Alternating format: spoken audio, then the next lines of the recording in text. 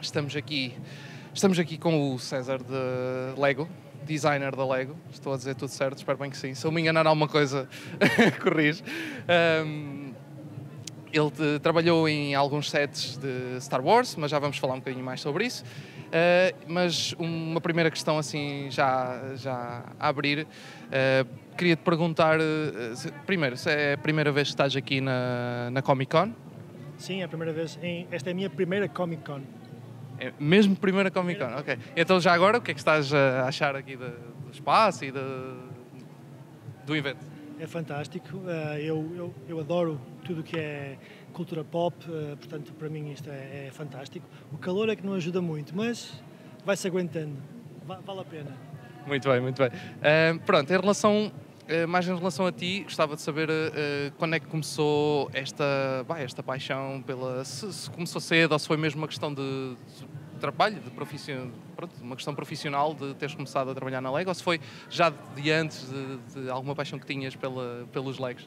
Ah, quando eu era criança, eu tinha bastante Lego e brincava muito com Lego. Os meus pais achavam que era um brinquedo muito educativo, então eu tinha bastante. E lembro perfeitamente de construir os meus sets que, que comprava, que, que, me ofereciam, mas também construir as minhas próprias uh, coisas. Um, eventualmente eu cresci e deixei de, de, brincar com Lego, não é?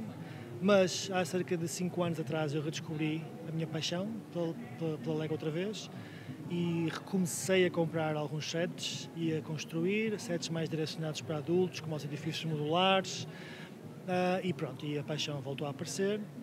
E a partir daí comecei também novamente a fazer as minhas próprias construções originais. Um, eventualmente surgiu a oportunidade de concorrer para uma vaga de designer na Lego, eu assim o fiz, passei por todo o processo de recrutamento uh, e em, uh, no final de 2015 fui convidado para juntar a equipa de Star Wars e em janeiro de 2016 uh, eh, iniciei esta aventura. Muito bem. Isto, pronto, lá está, foi, a equipa de Star Wars. Há mais algum, algum outro, outra área que tenhas trabalhado dentro da Lego ou foi totalmente só. Pronto, que sets é que trabalhaste dentro da, da? Uh, eu sets que estou, no, que estou no mercado ou que estiveram no mercado já fiz 10 ou 11, todos Star Wars. Recentemente, agora em agosto, fiz, também foi lançado A Casa na Árvore, do Lego Ideas, que foi um projeto paralelo uh, que eu uh, felizmente tive a oportunidade de trabalhar. Bastante diferente de Star Wars, mas que foi também um, uma experiência muito, muito boa. Ok. Um, em relação a, já agora, Star Wars, é, foi assim uma entrada assim iniciante ou já era uma coisa que, que gostavas assim deste mundo geek, não é?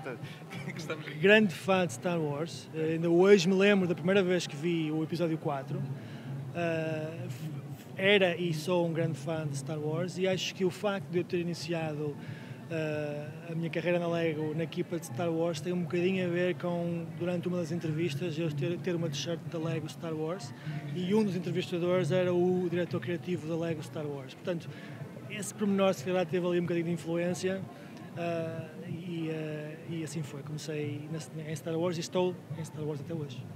Pensas noutra, gostava, ou gostarias de, assim, algum, algum tema, vá, digamos, de, ou, da Lego que gostarias de trabalhar agora num, num futuro? Desde que envolva Lego, não me importava de vir para qualquer equipa, mas Uh, há alguns outros temas que eu gostava de tentar também, como super-heróis ou Creator Expert. Uh, Overwatch, portanto, temas de, de propriedade intelectual atraem-me mais um bocadinho, atrai-me mais trabalhar com algo que já existe do que, do que algo que, que não existe. Portanto, super-heróis acho que era uma boa escolha para mim também. É perfeito para este mundo também. um, esperamos ver aqui, quem sabe, daqui a dois anos, noutra Comic Con, ou três, ou para o ano, um set novo aí apresentado. Um, em relação a, a Lego, pronto, estás, estás na Dinamarca, certo? Um, como é que é lá? Porque eu sei que, eh, pronto, eu sei que a Dinamarca é, é bastante diferente daqui, não é? é um, são ambientes completamente diferentes em termos de trabalho, em termos de, de vida, digamos. Uh, como é que é lá mesmo trabalhar para a Lego, o trabalho em si?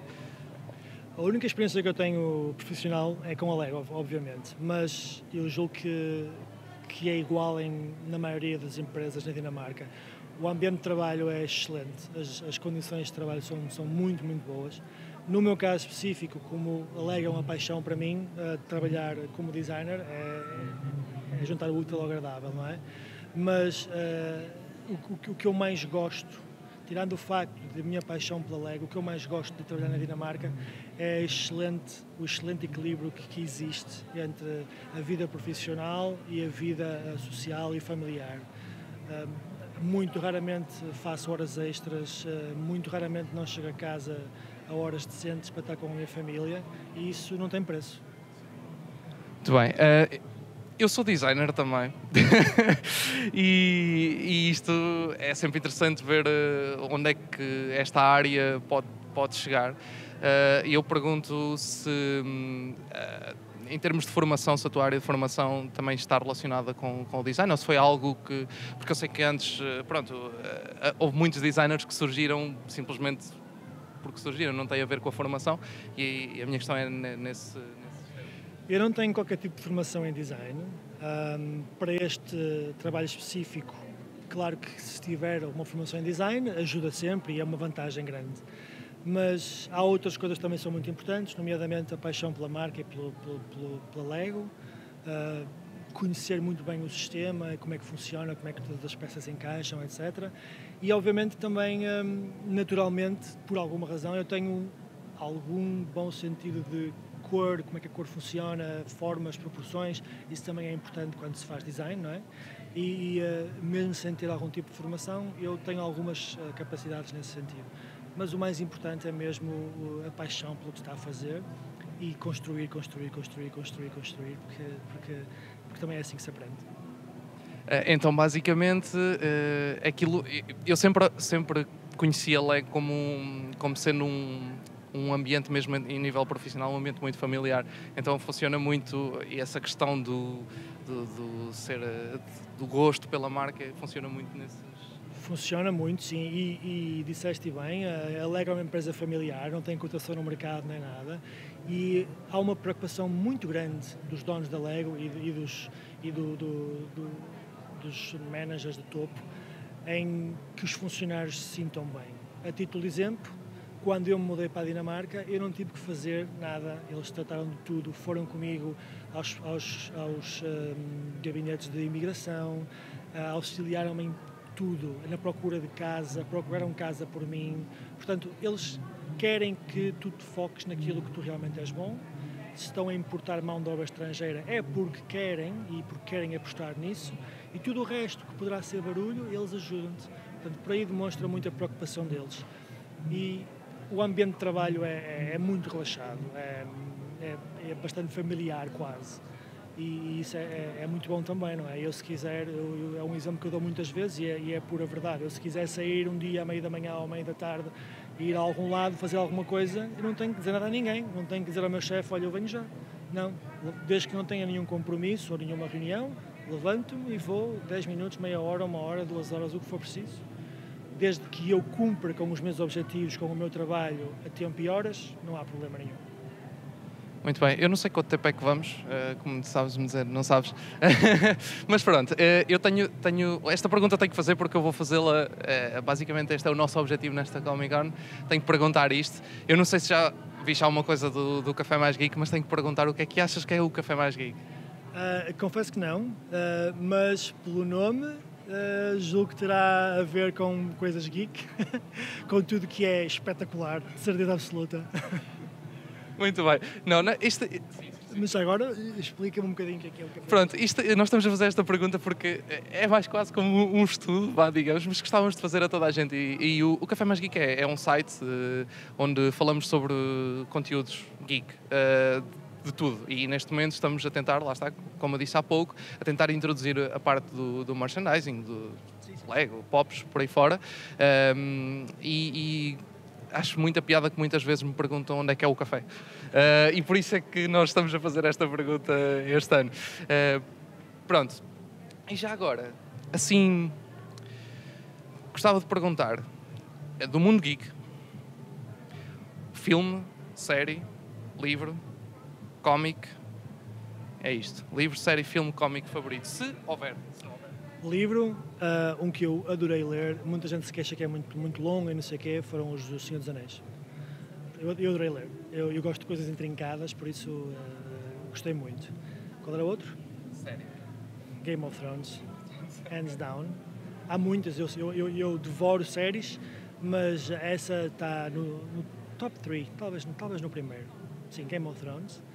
Comic, eu sou grande fã de Marvel e Spider-Man é o meu super-herói favorito. Eu, quando era, quando era miúdo e quando era adolescente, uh, também lia imensos cómics. Uh, ainda hoje os tenho, todos guardados. Uh, um específico, curiosamente, um que eu gostei muito foi as três edições da Morte do Super-Homem, que é DC, mas que eu adorei. Portanto, se calhar destacava esse. E a quarta era. Uh, filme. Seven. Sete Pecados Mortais. Okay. Não é muito geek, mas sim, é um filme que me marcou muito. E depois, claro, coisas como Infinity War e Endgame e, e toda, toda a, a, gama Marvel, uh, para mim é, é excelente. Senhor dos Anéis também é. Já agora, só para acabar, Star Wars. Star Wars, eu, eu, eu, ia, eu ia chegar lá.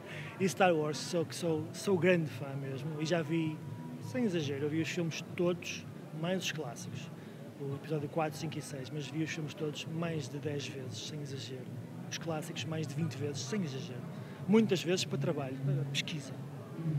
Muito bem, então só assim, gosto da parte da pesquisa, só assim para, mesmo para, para darmos por terminado, há assim alguma mensagem que queiras deixar aqui ao, ao pessoal geek que, por exemplo, queira algum dia, ou que esteja a pensar eh, algum dia trabalhar eh, para a Lego, digamos? Uh, se for para a Lego especificamente, há uh, uma coisa muito importante que é conhecer a marca e, e, e o amor pela marca. Uh, e a mensagem que eu gostava de deixar, que serviu para mim, é nunca desistam, porque eu demorei quase 40 anos até conseguir o meu emprego de sonho, mas consegui.